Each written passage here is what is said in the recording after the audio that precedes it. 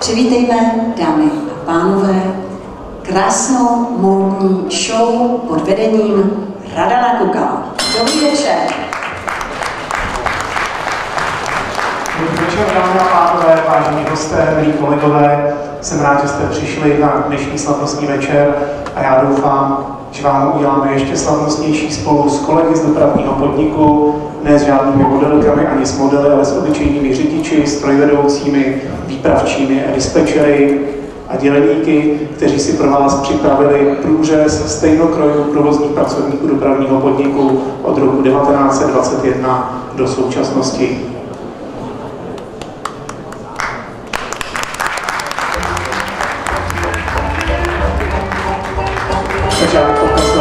Model. Nejdřív vás seznámíme se stejnokroji, které vznikly po vzniku Československa. Nová republika si vyžádala nové stejnokroje, jednalo se o takzvané konřiváky, které se používají od roku 1921 do roku 1965.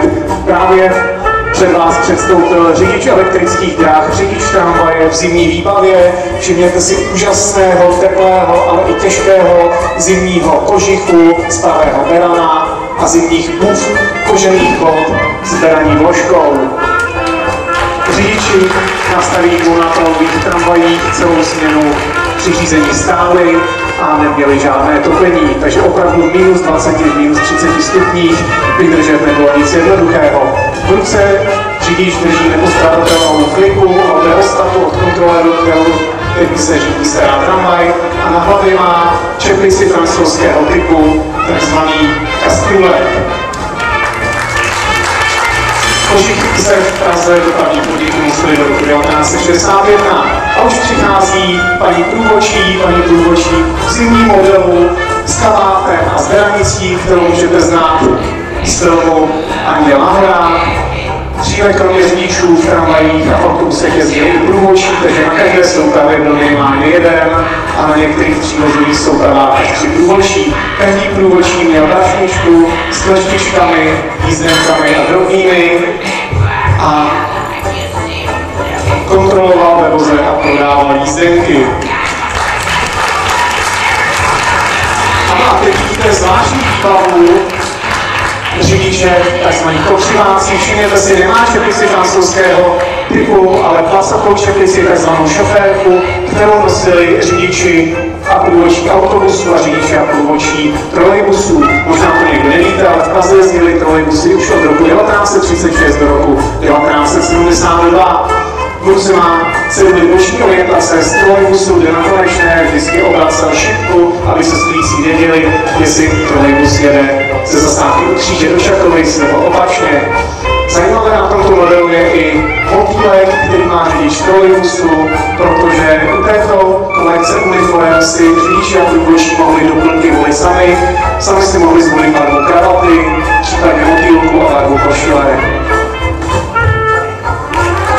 Tyto čepici šoférku od roku 1952 začali nosit i ostatní provozní pracovníci i řidiči tramvají, a to na zásah ministerstva vnitra Československé republiky, protože francouzské čepice byly z politických důvodů nepřijatelné. Ano, a už je tady další průvodčí, tam bych upozornil na čepici typu hodička, na této čepici, stejně jako na jiných čepicích, vidíte znak elektrických podniků hlavního města Prahy. Je to železniční okřídlené kolo, doplněné oblesky, které vyjadřovaly elektrifikaci provozu tramvajového a nad tímto oznakem si prosím všimněte znaku hlavního města Prahy, který byl vždy na všech uniformách dopravního podniku i na všech tramvajích a autobusech. Kromě odvolání cestujících a prodej jízdenek, průvodčí měli i výšťalku a dále náměstí podjezdu, výšťalku nebo s který jste mohli slyšet. Ano a právě přichází dělník dopravy, všimněte si, že má klasické modráky a e, kastule, čepici francouzského typu. Dříve se totiž ze stejnokroji zacházelo velice hospodárně, takže provozní pracovníci, řidiči a průvodčí obnošené stejnokroje vraceli a nosili je dělníci. Tento dělník je zajímavý v tom, že má přes rameno ledvinku plnou písku, lopatku jako na cukrování a trychtýř s volící částí, kterou silnici a chodil v Praze po kolejích ve velkých stoupáních, jako například v Kotkově silnici a cukroval koleje pískem, aby v době, kdy je zhoršená adheze, kdy tramvaje klouzejí, například když padá listí, když začíná pršet, tak aby tramvaje do těchto velkých kopců jeli. Tak toto byl poslední model, první republikové kolekce a přichází kolega v takzvaných tesilkách, které se používaly od roku 1965 až do roku 1983. Tesilové kalhoty a sako doplnil dlouhý kabát, který nosili řidiči a průvodčí elektrických dráh. Řidiči autobusů a trolejbusů nosili kabáty kratší, takzvané tří čtvrtáky. Můžete si všimnout, že e, znak hlavního města Prahy z okříleného kola od této uniformy zmizel. Naopak se tam objevila pro několik dalších desítek let nepostradatelná rudá hvězda. Znak hlavního města Prahy i nadále na stejnokroji dopravního podniku zůstal a to na knoflících, které za první republiky měly nápis ET, elektrické podniky. Po vzniku městských podniků pražských za druhé světové války tyto knoflíky se přestaly vyrábět a dostali znak hlavního města Prahy. V ruce řidič nese přední orientaci od tramvaje, kterou vždy nakonec nemusel obrátit. Tak děkujeme. Jinak tyto šedivé uniformy byly unifikované pro celé Československo a používali nejen dopravní podniky, ale i ČSAD, spoje, závodní stráž a další složky. A přichází krásná průvodčí vybavená prašnou, a všimněte si prosím na její čepici, tady je velice dobře vidět druhá věc, na kterou jsem už zmiňoval. Zvláště po roce 1968 byl nejhorším nešvarem provozních pracovníků to, že tyto hvězdy ohýbaly. A teďka rychle, co to dělá? Snaží se průvodčí přehodit výhybku. Někdy výhybky byly zarezlé, nedobře mazané, takže si musí pomoct zadečkem a to je takzvaný prdelný styl. Zpátky k hvězdičce.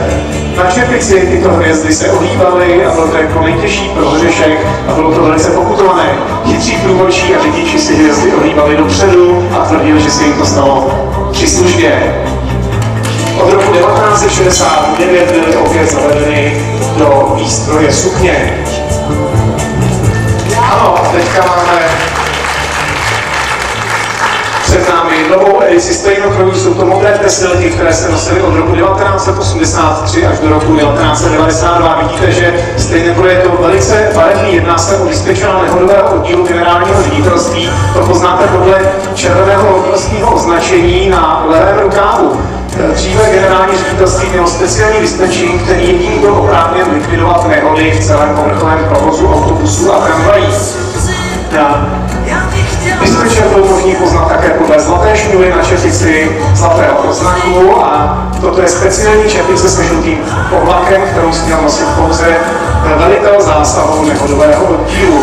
Ještě jedna zajímavost, na hotovském označení vidíte tři hvězdičky, ty symbolizovaly vedoucího oddělení nehodového oddílu. A v 80. letech nehodový oddíl eh, šéfoval právě zaměstnanec Josef Fischer, který předvádí i tuto uniformu a jedná se dokonce o jeho originální uniformu z 80. let, kdy nehodovému oddílu šéfoval. Kabátku ještě, pardon, bych nás upozornil na takové zvláštní logo, to není logo pražského dopravního podniku, ale je to logo, které se používalo pro všechny dopravní podniky v celém Československu. A tak, jak jsem říkal, uniformy byly unifikované, takže některé dodávky stejnokrojů toto označení neměly, některé ano. Stejně tak i knoflíky eh, měly většinou znak hlavního města Prahy, někdy ovšem přišly knoflíky i z nápisy DP nebo ČSAD. Řidiči byli vůbec rádi, že si v se mohli něco napasovat. A dispečer měl speciální knoflíky zlaté. A dispečerům pomáhali při výkonu jejich těžké služby starší řidiči. Toto je jejich reprezentant. Uvědomte si prosím, že v 80. letech byl radioprovoz v plenkách a veškerý provoz řídili traťoví dispečeři, který, kteří měli budky na křižovatkách, případně chodili po konečných a řídili tramvaje. Starší řidič měl na čepici stříbrnou šňůru a hodnostní označení na šedém podkladu se stříbrným olevováním a dále jeho stejnokroj byl doplněn trase s nápisem starší řidič. Tady už vidíte u staršího řidiče jeden z prvních modelů radiostanic.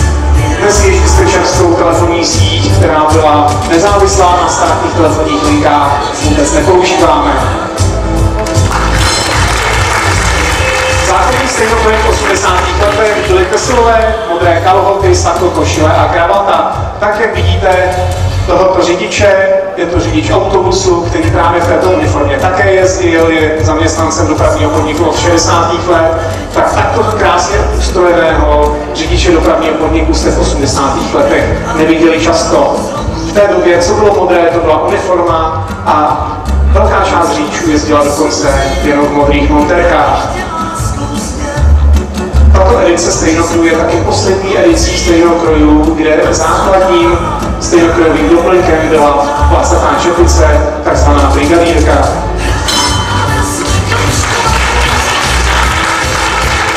Vážení přátelé, teďka přivítáme naprostou raritu v dopravním podniku.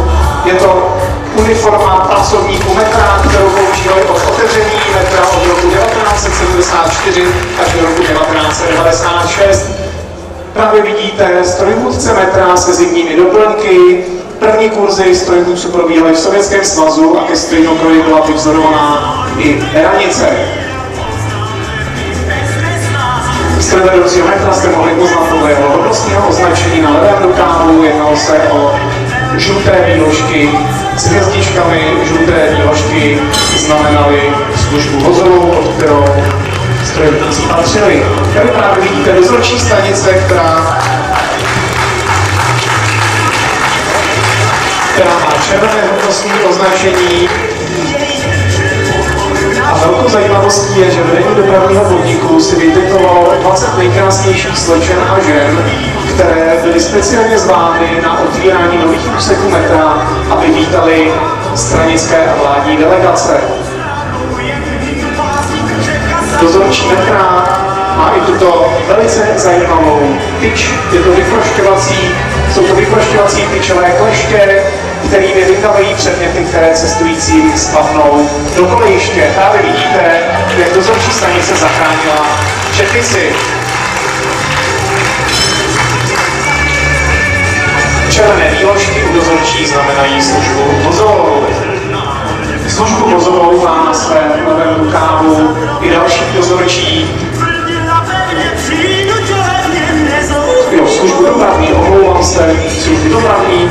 Tento dozorčí má na rozdíl od své předchůdkyně červenou čepici. Červená čepice je velice důležitá, protože strojvedoucí metra smí poslouchat ve stanicích pouze pracovníka, který má čepici. Při denním pravidelném provozu se s těmito pracovníky setkáte velice zřídka, ale v nočním provozu bez dozorčího červené čepici nesmí stanicí projet žádná souprava. V ruce má dozorčí takzvanou plácačku, správně odborně výpravku, pracovníci metra plácačku nazývají svým žargonem pohotovku a to proto, protože se s ní dává návěst pohotový odjezdu, návěst průjezd nebo odjezd.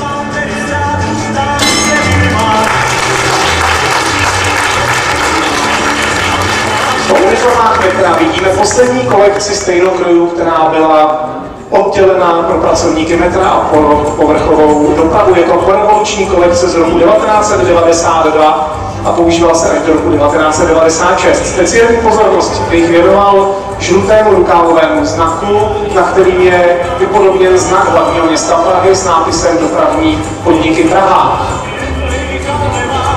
Na, na knoflících je jsou písmena DT, na dispečerských zlatých byl znak hlavního města Prahy a na kravatě opět písmena DT. Právě mezi nás přichází ve stejné kolekci dispečer povrchové dopravy. Jedná se o oblastního dispečera tramvají a zároveň velitele zásahu, který je poznat podle bílé čepice. Poprvé v roce 1992 byly stejnokrové součástky obohaceny o bundy, toto je zimní bunda typu Parker, na které se hodnostní označení nosilo obě nad plnou kapsou. Tato uniforma měla i své letní provedení, letní bundu, kterou bylo možné nosit i bez rukávů, Ano a vážení přátelé, dovolte, abych mezi námi přivítal technického ředitele dopravního podniku inženýra Jana Šurovského PhD, který se předvádí ve své vlastní uniformě, v roce 1994 začal jako student ČVUT řídit tramvaj ve vozovně Strašnice. Toto mu zůstalo i dodnes a jako technický ředitel i v době, kdy byl členem představenstva dopravního podniku pravidelně každý týden chodí jezdit z tramvají, aby se sám na vlastní kůži přesvědčil, v jakém stavu jsou eh, koleje a v jakém stavu jsou vozy. Já bych poprosil pana inženýra, aby služební desky ještě na chvilku dal stranu, aby bylo vidět logo hlavního města Prahy, znak hlavního města Prahy, vlevo na hrudi. Pan inženýr Šunovský má velice zajímavou čepici, jedná se o model baseballka, která se poprvé používala od roku 1992 a i když jsem ho od toho zrazoval, tak mě přesvědčil, že si ji obleče jako Jouda. Takže prosím vás, v těchto čepicích všichni vypadali jako Joudové, jako technický ředitel dopravního podniku.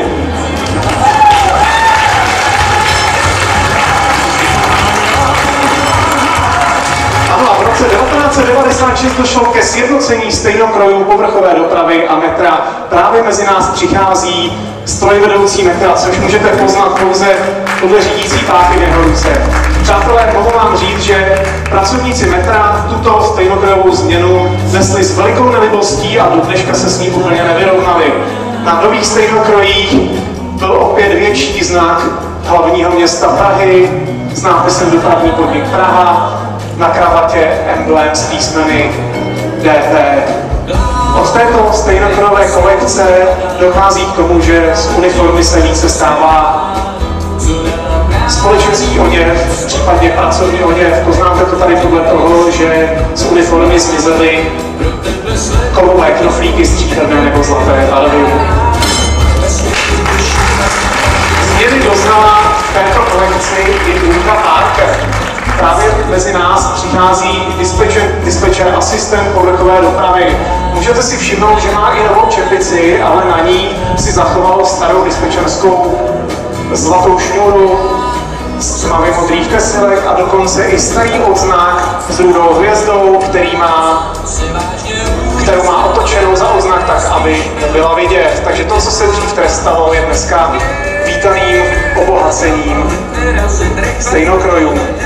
A v době, kdy se tyto stejnokroje nosily, to znamená mezi lety 96 a 2010, došlo k vysoutěžení loga dopravního podniku a poprvé v historii dopravního podniku zmizel znak hlavního města Prahy ze stejnokrojů provozních pracovníků. Nahradilo ho nové logo zvané řidiči lidově Preclík. Stejnokroje byly doplněné i o svetry a vesty, které mají taktéž hodnostní označení. A toto je, přátelé, velice povedený model. Myslíte si, že to je řidič tramvaje? Spíš vypadá jako zlý výrostek Hugo. To je opravdu nepovedený stejnokroj, ten pracovní kapsáček, kdy velká část řidičů je měla umaštěné, plné různých nepotřebných, ale pro ně nepostradatelných věcí tato trika s krátkým rukávem nosili velice rádi, především proto, že minimálně týden si je nemuseli měnit. Nebyla na nich vidět žádná špína. Z hlediska dopravního podniku se nejednalo o žádnou hitparádu, protože cestující veřejnost, pro kterou tady všichni jsme, v kabině často neviděla, že tam vůbec nějaký řidič sedí. I čepice typu baseballka byla velice pochybného typu, jako ta, co měla sobě pan inženýr Šurovský. Takže abychom to schrnuli, pracovní kalhoty typu kapsáče se neosvědčily, dále už se nevyrábí ani nefasují a trika zvaná polo změnili barvu na světle modrou a bílou. A přátelé, jsme pomalu u konce. Přichází mezi nás poslední kolekce stejnokrojů, kterou jsme doplnili i o pracovní monterky dělníků dopravního podniku. Můžete si všimnout, že v posledních letech vedení dopravního podniku klade veliký důraz na bezpečnost svých zaměstnanců, takže všechny montérky, všechny stejnokroje, jejich svrchní části jsou doplněny o reflexní pruhy. Zároveň od vzniku loga dopravního podniku se toto logo komunikuje na všech stejnokrojích součástkách, na vozech i na prezentačních materiálech dopravního podniku.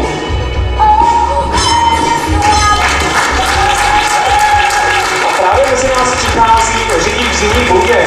Možná v tom světle si všimnete, že i na zimní bundě má našité reflexní proužky. Byť to tady tak nevypadá, tak při raných výjezdech jsou pracovníci v těchto stejnokrojích ve vozovnách a na ostatních plochách autobusů velice dobře vidět. Na hlavě měl zimního kulicha a pod zimní bundou oblekové sako a oblekové kalhoty. Změny v této kolekci doznala i kravata, která vypadá na první pohled jako červená, není červená, jedná se o shluk velkého množství lok dopravního podniku, velice vydařený model, který se z dálky jeví jako červený, avšak zblízka jsou vidět loga dopravního podniku. Jak už jsem předeslal, uniformy dopravního podniku se stávají čím dál tím víc neuniformami, kromě knoflíků kovových, které zmizely už od před, u předchozího modelu, u těchto sach a bund zmizely i velká loga dopravního podniku na levém rukávu a byla nahrazena pouze malým decentním logem nad levou kapsičkou. Jedná se o velice slušný model, jedinou nevýhodou má tu, že pokud řidič opustí své království ze své kabiny, ve své kabině a vyleze mezi cestující, řeší s nimi nějaký problém, tak se stává, že cestujícím dlouho trvá, než zjistí, proč ten pán se s nimi baví z pocitu určité moci.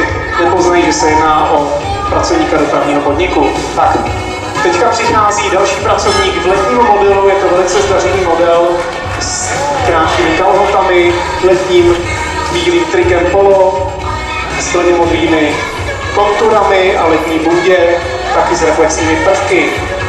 Právě za ním přišla i kolegyně řidička, dozorny Bokovice, nejedná se o modelku, ale opravdu o řidičku. Má na sobě sukni, halenku, zase s decentním vyšitým logem na levé kapsičce a se speciální kravatou pro ženy.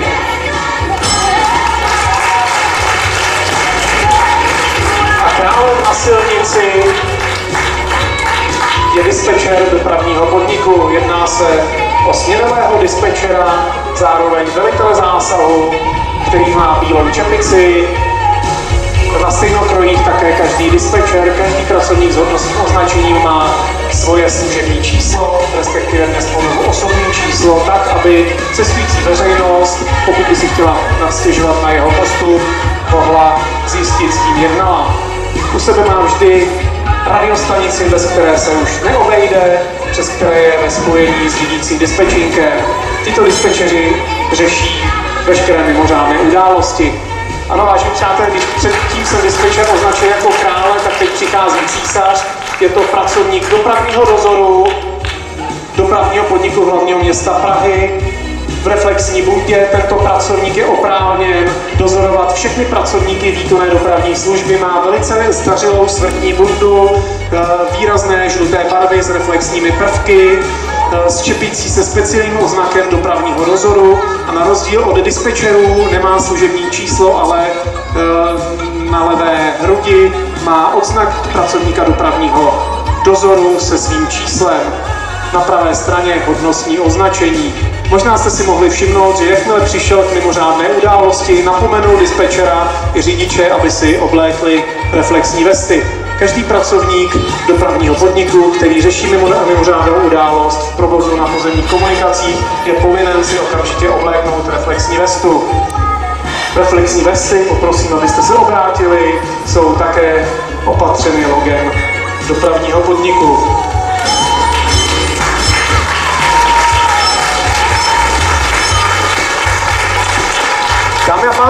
Jsme vyčerpali jednotlivé kolekce stejnokrojů pracovníků dopravního podniku od roku 1921 do současnosti. Já bych poprosil, aby teďka všichni modelové, všichni řidiči, strojvedoucí, výpravčí, dispečeři, ředitelé a dělníci přišli na pódium a vytvořili živou časovou louku.